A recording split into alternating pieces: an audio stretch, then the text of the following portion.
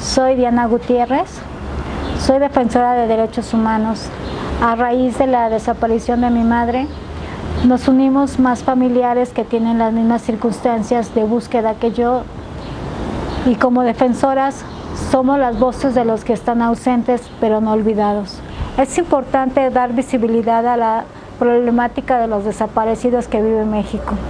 Luchamos para encontrarles, trabajamos por la verdad, luchamos para tener acceso a la justicia, luchamos para la reparación, trabajamos para la no repetición y construimos juntos un México mejor.